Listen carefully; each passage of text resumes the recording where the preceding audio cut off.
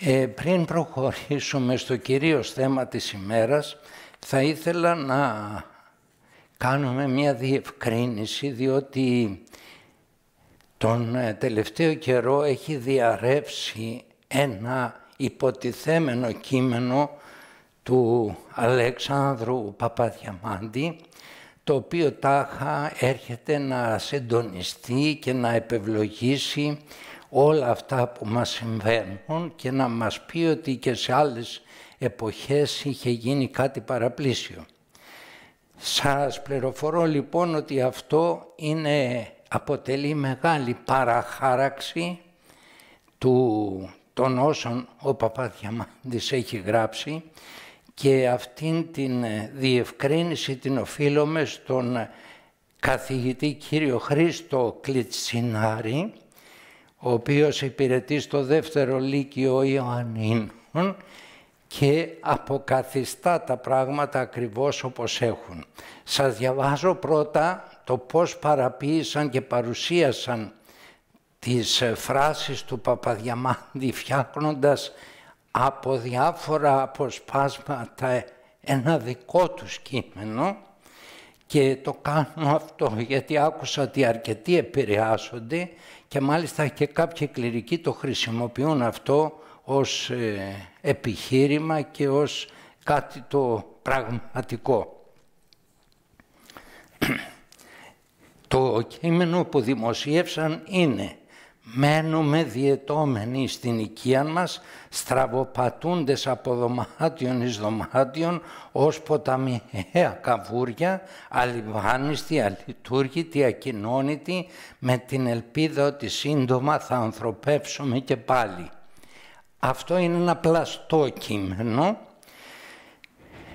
Το, οι λέξεις του παραπάνω κειμένου, λέει ο καθηγητής, έχουν πάρθει από το δείγμα του η ελαφροίσκιωτη, το οποίο δεν έχει καμιά σχέση με επιδημία, αλλά με κάποιους ανθρώπους που ζούσαν μακριά από την εκκλησία και συνομιλούσαν με νεράιδες. Δηλαδή άνθρωποι που είχαν ταξιδέψει. Το αρχικό κείμενο του Παπαδιαμάντη έχει ως εξής. Το όντι γραία, αντί να μείνει στο χωρίο να κάνει Χριστούγεννα, μαθούσα ότι ο παπά Κωνσταντής, ο Μπρικόλας, έμελε να ανέλθει το πρωί κατά πρόσκληση ποιμένων και γεωργών τεινών εις το βουνόν να λειτουργήσει το εξοκλήσιον του προφήτου Ηλία, επροτίμησε να υπάγει εις της και χρεάς το ρέμα, να πιθαναγκάσει την κόρη της και τα εγγονάκια της να σηκωθώσει το πρωί, να ανέλθωσει στο εξοκλήσιον, το οποίο βρίσκεται εις το ίμιση του δρόμου, επί οροπεδίου γείτονος της κορυφής του βουνού, μίαν από τον χωρίον και μίαν ώραν από την Κεχρεάν, δια να λειτουργηθούν και μεταλάβουν για να τους ανθρωπέψει ο λίγον έλεγε καθώς έμενον επί μήνας αλειτουργητή κάτω εις το βαθύ ρέμα. Πήρε τις τελευταίες φράσεις από αυτό το απόσπασμα λοιπόν, το οποίο δεν έχει καμία σχέση με την ε, χολέρα που είχε ενσκύψει στο νησί του Παπαδιαμάντη.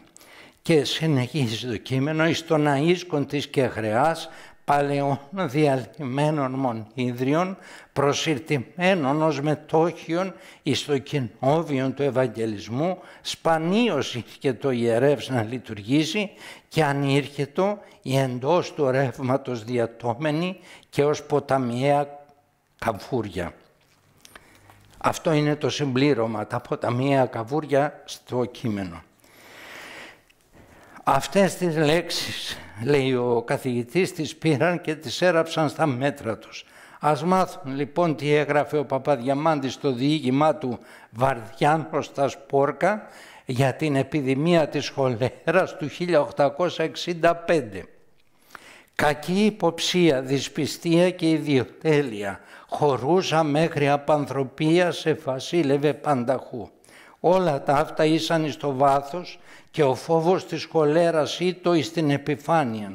θα έλεγε της ότι η χολέρα ή το μόνο πρόφασης και ότι η εκμετάλλευση των ανθρώπων το η αλήθεια. Αυτό έρχεται να επιβεβαιώσει εμάς τώρα, όχι να δώσει όπλα σε εκείνους που κλείσανε τις εκκλησίες. Το δαιμόνιο του φόβου, ακούστε, είχε έβρει επτά άλλα δαιμόνια πονηρότερα εαυτού και είχε λάβει κατοχήν επί του πνεύματος των ανθρώπων. Τώρα τι λέει, πώς έφυγε η χολέρα στο διήγημά του η χολεριασμένη, μας λέει πώς σταμάτησε η επιδημία. Σαν ήρθε η φοβερή χρονιά που έφερε την κατοχή των Αγγλογάλων και τη χολέρα που βάσταξε τρεις μήνες, τρεις μήνες, όχι ένα χρόνο ή τρία χρόνια που θα βαστάξει τούτο που το βαστάζουν οι αβάσταχτοι. Και έπαψε την ημέρα του Αγίου Φιλίππου, ύστερα από μεγάλη λιτανία και δέηση που έκαμε ο λαός με τους παπάδες, με τα εικονίσματα, με σταυρούς και με ξεφτέρια. Εάν πράγματι ήταν ασθένεια από το Θεό, πού είναι οι σταυροί, τα εικονίσματα και τα εξαπτέρυγα για να βγούμε και να φύγει η χολέρα. Μας έχει αφήσει ο Θεός μας στους ειδικούς. Λέει ο Θεός, αφού με τους ειδικούς θα λύσετε τα προβλήματα, δεν με χρειάζεστε εμένα.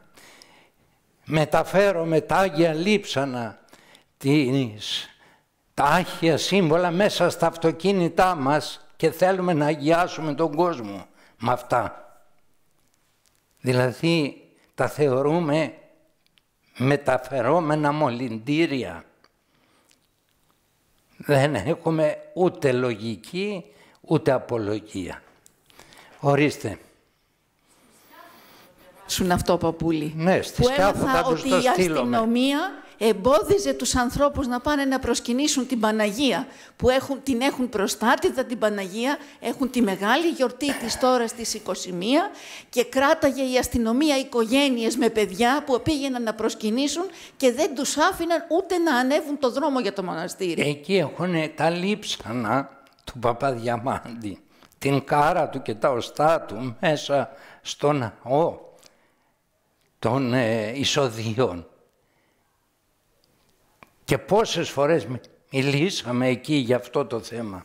Δυστυχώς όμως παρήλθον οι χρόνοι εκείνοι και ήρθαν οι καινούργοι για τους οποίους τώρα θα μιλήσουμε με τους νέους μας.